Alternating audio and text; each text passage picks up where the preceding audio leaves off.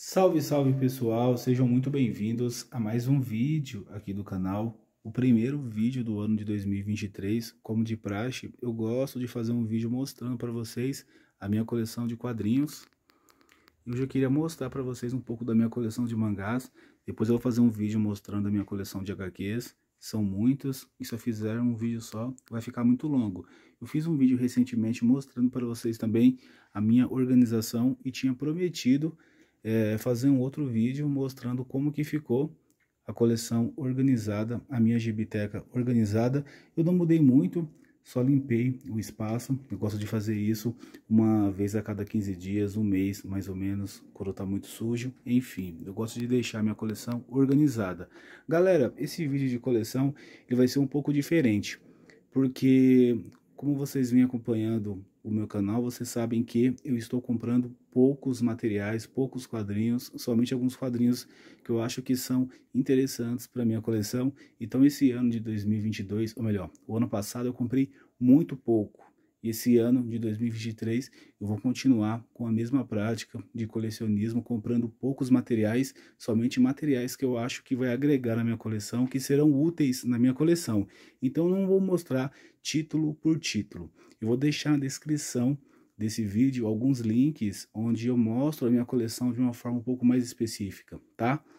Bom, galera, a minha coleção continua praticamente a mesma do ano passado, de exceção de alguns quadrinhos que eu comprei então temos aqui Dragon Ball, Dororo, Cavaleiros, Devilman, Ayako, Ping Pong, Fragmentos do Horror, Buda.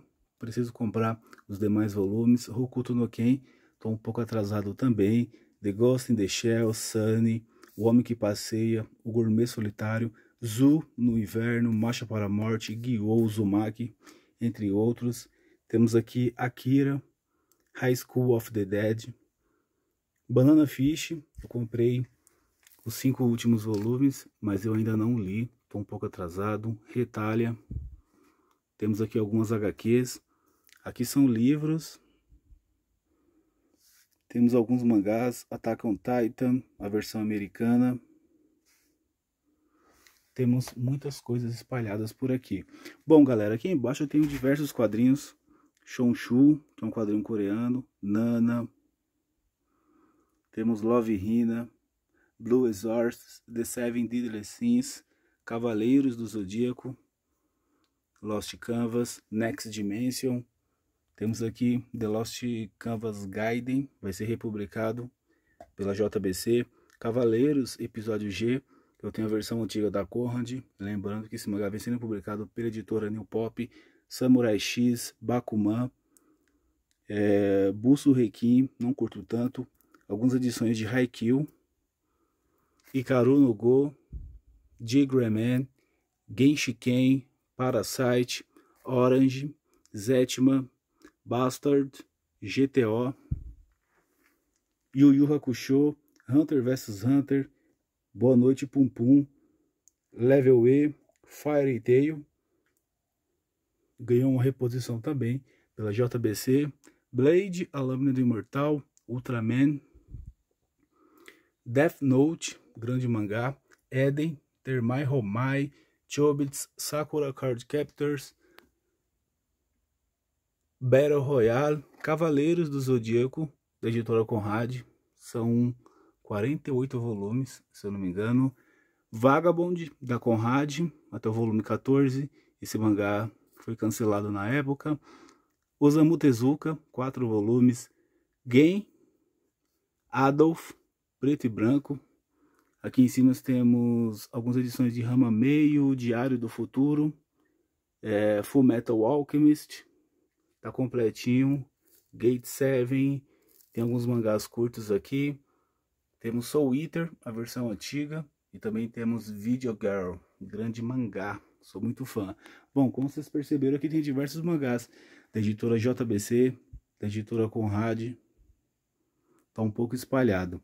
Aqui temos alguns mangás, ou praticamente todos, da editora Panini. Embaixo tem o Dragon Ball.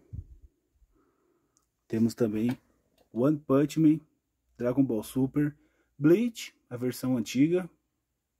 Gosto muito desse título. Lembrando que Bleach ganhou a versão remix pela própria editora Panini. Vagabond, que também, Real, até o volume 15. Lobo Solitário. Eu voltei a reler Demon Slayer recentemente. Eu terminei o segundo volume, vou para o terceiro volume. Esse mangá é muito bom. Eu não li os últimos volumes e comecei a ler, a reler os primeiros volumes para poder fazer uma leitura direta desse título.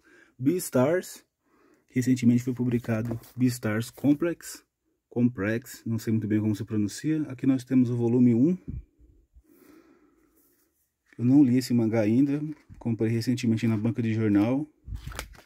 Vou fazer a leitura, se eu gostar, eu faço uma resenha aqui para vocês. São 22 volumes. Naruto, completinho também, até o último volume, que é o volume 72. One Piece,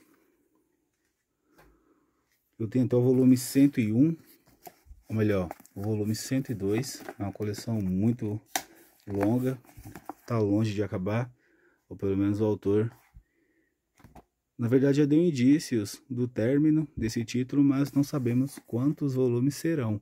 Eu tenho uns boxes aqui, tô no aguardo dos demais boxes de One Piece. Vagabond, ou melhor, Sludduck. Olhem essa lombada. Recentemente eu fui no McDonald's e comprei esses dois bonequinhos aqui. 15 reais cada, mas você comprar o Mac Lanche Feliz você acaba recebendo esses bonequinhos aqui de brinde, né? Temos Berserk, eu tenho até o último volume lançado aqui no Brasil, tá nesses boxes. 20th Century Boys, Monster, Pluto, JoJo's Bizarre Adventure, temos Gantz, muitos pedem um retorno desse título, Chase Man, Blood Lady, temos Demon Slayer, como já mencionei, voltei a reler. Eu tenho que ler do volume 10 ao 22 Spy Family, Planets. Na parte superior nós temos Kuroko no Basket, Villain de Saga, Ayame Hero, Jujutsu Kaisen e Gigant. Bom pessoal,